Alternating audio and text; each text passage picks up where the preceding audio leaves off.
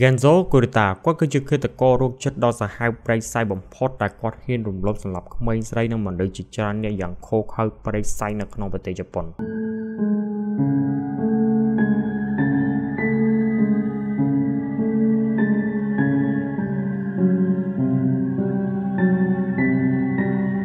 Genzo Kurata កើតនៅថ្ងៃទី3ខែវិច្ឆិកាក្នុងឆ្នាំ1926នៅអធិការប្រទេសជប៉ុនដែលគាត់គឺជាកូនប្រុសច្បងរបស់អ្នកនេសាទនៅក្នុងក្រុមគ្រួសារក្រីក្រមួយហើយនៅក្នុងក្រុមគ្រួសាររបស់គាត់មានបងប្អូនរហូតដល់12នាក់ជីវិតគ្រួសាររបស់គាត់ជួបការលំបាកវេទនាខ្លាំងមែនទែនសូម្បីតែសម្លៀកបំពាក់ស្លៀកពាក់រាល់ថ្ងៃក៏មិនមានគ្រប់គ្រាន់ដែរដូច្នេះហើយទៅធ្វើឲ្យគូរីតាជួបការលំបាកខ្លាំងណាស់នៅក្នុងវ័យកុមារភាពរបស់គាត់។ មិនត្រឹមតែប៉ុណ្ណោះនោះទេគាត់តែងតែត្រូវបានគេសម្លុតធ្វើបាបជារៀងរាល់ថ្ងៃនៅពេលដែលគាត់បានទៅសាលារៀន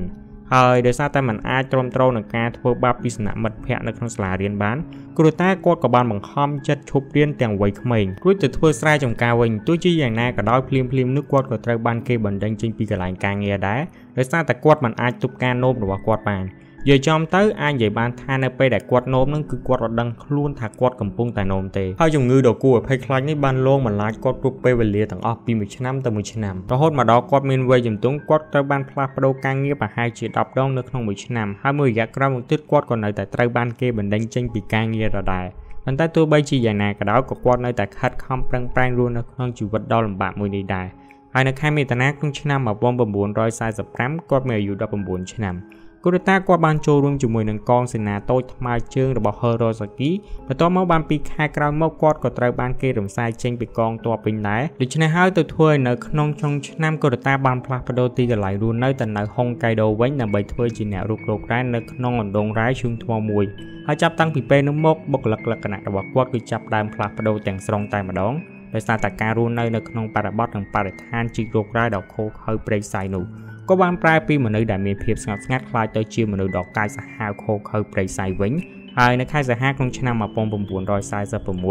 គាត់ក៏បានទៅលួចស្រូវពីកសិករនៅក្បែរដងរ៉ាយឈូងថ្មនោះយកវាទៅលក់ដើម្បីយកប្រាក់យកមកទុកប៉ុន្តែជាអកុសលគាត់ក៏ត្រូវបានគេចាប់បានដូច្នេះគាត់ក៏ត្រូវបានគេផ្ដន្ទាទោសឲ្យជាប់ពន្ធនាគាររយៈពេល1ឆ្នាំ6ខែចាប់តាំងពីពេលហ្នឹងមកគាត់កាន់តែធ្លាក់ខ្លួនខ្លាំងមែនតើហើយបន្ទាប់ពីត្រូវបានដោះលែងពីពន្ធនាគារគាត់ក៏បានផ្លាស់ប្ដូរការងារដោយគាត់បានទៅធ្វើជាអ្នកលួងកវិញ ហើយបើយើងនិយាយអំពីប្រទេសជប៉ុនអំឡុងពេលហ្នឹងសម្រាប់អាហារវិញគឺខ្វះខាតខ្លាំងមែនតើជាពិសេសដូចជាអង្គរដូច្នេះហើយទៅធ្វើឲ្យវាមានតម្លៃថ្លៃខ្លាំងណាស់គាត់បានចូលរួមជាមួយនឹងក្រុមហ៊ុនលួងអង្គរយ៉ាមីហើយនៅពេលនោះផងដែរគាត់ក៏បានចាប់ផ្ដើមមានចំណងស្នេហានៅក្នុងខេត្ត Shizuoka ប៉ុន្តែសម្រាប់ស្នេហារបស់គាត់វិញគឺមិនមែនជាស្នេហាដែលកើតឡើងដោយមនុស្សពីរនាក់នោះទេ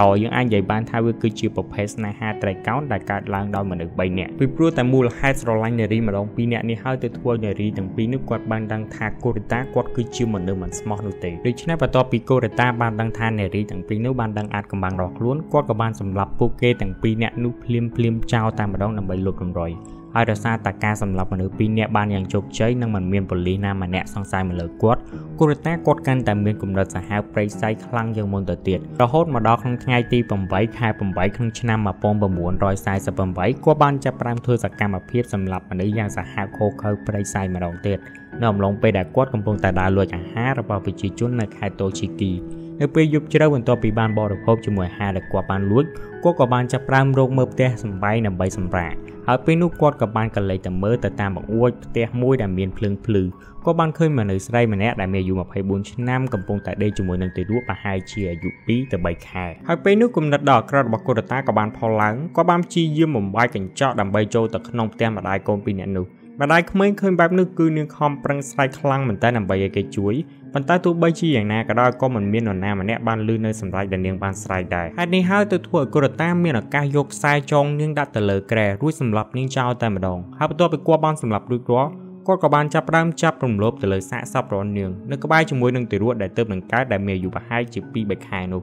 ចាប់តាំងពីពេលនោះមកក្រតាបានខ្លាចទៅជាឃាតករដ៏ឈួតលីលាបំផុត ហើយគាត់បានចាប់ផ្ដើមធ្វើសកម្មភាពម្ដងទៀតនៅយប់ថ្ងៃទី11ខែតុលាក្នុងឆ្នាំ1948ពេលនោះគាត់បានផ្លាស់ប្ដូរទៅនៅខេត្តឈីបាដើម្បីលួចអវ័នរបស់ប្រជាជនដោយក្រដងនៅទីនោះគាត់បានឃើញស្ត្រីម្នាក់ដែលមានអាយុ29ឆ្នាំនិងកូនស្រី4នាក់កំពុងតែធ្វើដំណើរនៅជិតស្តុបផ្លូវដែក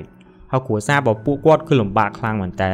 ឆ្លៀតឱកាសនៅក្នុងពេលនោះគូរតាគាត់ក៏បានដើរតួធ្វើជាមនុស្សល្អដើម្បីចង់ជួយជូនក្រុមគ្រួសារនោះត្រឡប់ទៅផ្ទះវិញ ដែលគាត់បាននិយាយថាខ្ញុំនឹងជួយនាំអ្នកនិងកូនកូនរបស់អ្នកត្រឡប់ទៅផ្ទះវិញហើយនៅពេលនោះដោយហេតុតែយប់ផងស្ត្រីជាម្ដាយគាត់ក៏បានយល់ព្រមថាឲ្យគ្រតាជូនគាត់ត្រឡប់ទៅផ្ទះវិញនៅតាមផ្លូវមានច្រាំងថ្មពេលនោះប្រហែលជាមួយយប់គ្រូតាគាត់បានចាប់ផ្ដើមបង្ហាញនូវចេតនាដ៏អាក្រក់ប្រៃវិស័យរបស់គាត់ដោយគាត់បានស្នើសុំរួមភេទជាមួយស្ត្រីដែលជាម្ដាយនិងកូនកូនរបស់ស្ត្រីនោះតែនារីជាម្ដាយគឺគាត់មិនយល់ព្រមនោះទេដូច្នេះគាត់ក៏បានតស៊ូយ៉ាងខ្លាំងជាមួយនឹងគូរិតា ប៉ុន្តែដោយសារតែរាងកាយដ៏តូចរបស់នាងមិនអាចទប់ទល់បានដូច្នេះទើបធ្វើឲ្យគូរិតាបានរំលោភនាងបានយ៉ាងជោគជ័យជាមួយគ្នានោះផងដែរបន្ទាប់ពីបានរំលោភរួចរាល់គាត់ក៏បានអាកកសម្រាប់ស្ត្រីនិងកូនទាំង4នាក់នោះចោលតែម្ដងរួចមកគាត់ក៏បានយកសាកសពរបស់ពួកគេទៅបោះចោលនៅក្នុងជ្រូកក្បែរនោះហើយបន្ទាប់ពីបានបោះរួចរាល់កូរតាគាត់ក៏បានចុះទៅត្រួតពិនិត្យយ៉ាងយកចិត្តទុកដាក់ដើម្បីរកឲ្យឃើញថាពួកគេស្លាប់អស់ឬមួយក៏នៅ ពេលនោះមានក្មេង3នាក់បានស្លាប់នៅនឹងកន្លែងតែម្នាក់ទៀតដែលជាកូនស្រីច្បងរបស់ជនរងគ្រោះបានរងរបួសធ្ងន់ប៉ុន្តែគូរិតាគឺគាត់មិនបានរកឃើញសាកសពរបស់ក្មេងស្រីម្នាក់នោះនោះទេចំណែកក្មេងស្រីតូចដែលមានសំណាងនោះត្រូវបានគេរកឃើញដោយមនុស្សនៅក្បែរនោះហើយគេក៏បានរួចផុតពីសេចក្តីស្លាប់ប៉ុន្តែនៅក្នុងចំណុចនេះគេប្រហែលជាមិនបានចាំមុខឃាតករច្បាស់នោះទេហើយសម្រាប់ច្រាំងថ្មចោលដែលគូរិតាបានប្រព្រឹត្តបទក្រិតនេះវិញត្រូវបានគេដាក់ឈ្មោះថាអូសែនកូរ៉ូកាឈី ហើយរាល់បទក្រិតទាំងអស់ដែលកូរ៉េតាបានប្រព្រឹត្តគាត់តែងតែមិនបន្សល់ទុកនៅស្នាក់ស្នាមឬសាកសីណាមួយឡើយដែលបញ្ជាក់ថាគាត់គឺជាអ្នកធ្វើរហូតដល់ថ្ងៃទី13ខែមករាក្នុងឆ្នាំ1952គាត់ក៏បានចាប់ផ្ដើមធ្វើសកម្មភាពជាលើកទី4ដោយគាត់បានលួចចូលទៅក្នុងផ្ទះស្ត្រីវ័យចំណាស់ម្នាក់ដែលមានអាយុ63ឆ្នាំកំពុងរស់នៅជាមួយនឹងចៅស្រីម្នាក់ដែលមានអាយុ24ឆ្នាំកូរតាបានចូលទៅក្នុងផ្ទះហើយសម្រាប់ពួកគេទាំងពីរនាក់ចោលតែម្ដងហើយបន្ទាប់ពីគាត់បានសម្លាប់ហើយ គាត់ក៏បានរំលោភទៅលើសាកសពដែលគាត់បានសម្លាប់ដូចជាករណីមុនមុនចឹងប៉ុន្តែជាអកុសលគាត់មិនមានសំណាងដូចជាពេលមុនមុនទេដោយសារតែអំឡុងពេលដែលគាត់បានសម្លាប់លោកយាយនិងក្មេងស្រីនោះគឺគាត់បានបន្សល់ទុកនៅស្នាក់ស្នាមរៀបដៃរបស់គាត់រហូតដល់3កន្លែងដូច្នេះហើយទៅធ្វើឲ្យប៉ូលីសមានភាពងាយស្រួលខ្លាំងមែនទែនក្នុងការស្វែងរកមុខឃាតករថាគឺជាអ្នកណាឲ្យពិតប្រាកដ រហូតធ្វើឲ្យប៉ូលីសបានចាប់ខ្លួនគាត់បានសម្រេចហើយនៅកន្លែងឃុំខ្លួនគាត់ក៏បានអះអាងនឹងសារភាពថាគាត់បានប្រព្រឹត្តអំពើឃាតកម្មនេះពីករណីផ្សេងៗគ្នាទៀតជាមួយនឹងអំពើឃាតកម្មដ៏សាហាវឃោរឃៅព្រៃសៃរបស់គាត់តឡាការក៏បានកាត់ទោសប្រហារជីវិតគាត់នៅខែធ្នូក្នុងឆ្នាំ1953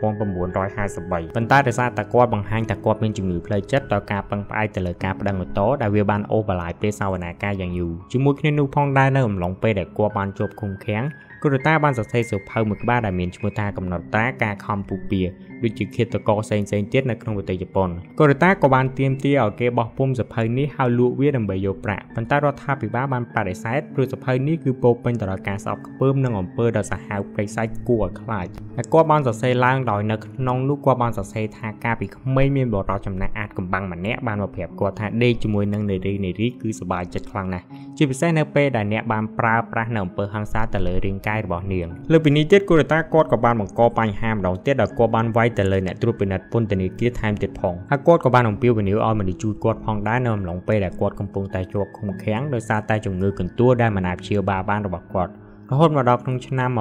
1954កូរ៉េតាបានចាប់ផ្ដើមមានស្ថានភាពកាន់តែយ៉ាប់យ៉ឺនយ៉ាងខ្លាំងមែនទែនជាមួយនឹងជំងឺរបស់គាត់គាត់បានព្យាយាមធ្វើបាបខ្លួនឯងដោយវាជាមួយនឹងជញ្ជាំងឬមួយក៏វត្ថុផ្សេងៗនៅក្នុងបន្ទប់ឃុំឃាំង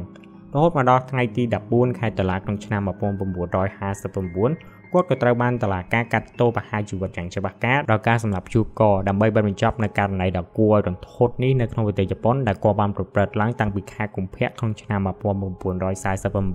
រហូតមកដល់ថ្ងៃទី13ខែមករាក្នុងឆ្នាំ1952ហើយយើងសរុបទាំងអស់ជនរងគ្រោះដែលគាត់បានប្រព្រឹត្តនោះគឺមានចំនួន8នាក់ អូខេចឹងជាចុងក្រោយសម្រាប់បន្តិចបើខ្ញុំគិតថារឿងក្តីនេះវាក៏ជាផ្នែកមួយដែលកើតឡើងចេញមកពីការរើសអើងផងដែរចឹងខ្ញុំសង្ឃឹមថាទាំងអស់គ្នាចូលរួមបញ្ឈប់នឹងការរើសអើងចោលទាំងអស់គ្នាហើយខ្ញុំក៏បាននិយាយកាន់ជើងទៅលើឃាតករផងដែរព្រោះការរើសអើងវាក៏ជាផ្នែកមួយដែលជំរុញឲ្យគាត់ខ្លាចទៅជាមនុស្សរោគចិត្តបែបនេះដែរ នេះគ្រាន់តែជាមតិរបស់ខ្ញុំទេចុះអ្នកទាំងអស់គ្នាវិញអ្នកទាំងអស់គ្នាយល់យ៉ាងណាដែរហើយមួយទៀតគឺជារឿងរំលោភបំពានផ្លូវភេទបើយើងសង្កេតមើលទៅគឺមានច្រើនខ្លាំងមែនតើមិនថានៅទីណាឬមួយក៏ប្រទេសណាទេប៉ុន្តែមនុស្សមួយចំនួនគាត់បើទៅជាចត់កំហុសហ្នឹងថាគឺជាកំហុសរបស់នារីនារីវិញទៅលើដូចជាការដើរលេងម្នាក់ឯងដើរលេងពេលយប់ជាពិសេសគឺការស្លៀកពាក់ខ្លីនឹងតែម្ដងមិននិយាយចឹងអត់ត្រូវទេអ្វីដែលអ្នកទាំងអស់គ្នាគួរតែបន្ទោសនោះគឺអ្នកទាំងអស់គ្នាគួរបន្ទោសទៅលើអ្នកធ្វើនិងអ្នកប្រព្រឹត្តនោះតែម្ដង